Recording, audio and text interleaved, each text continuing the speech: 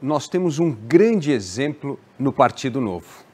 O nosso prefeito de Joinville, Adriano Silva, foi o prefeito que mais deu título de regularização fundiária no Brasil em 11 meses de mandato.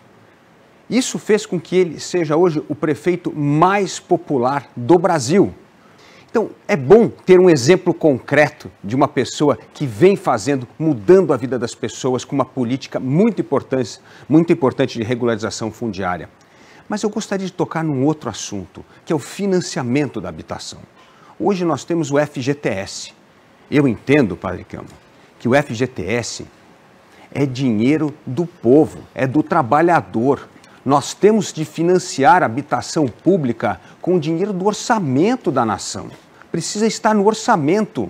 O FGTS é para o povo, o trabalhador colocar no bolso e gastar como ele deseja. Por isso, tem que estar claro no orçamento da nação. Aliás, nós temos de modificar o orçamento da nação, Padre Kelmo. O orçamento da nação não tem nenhum indicador de eficiência do gasto público. Como é que aquele dinheiro está sendo gasto?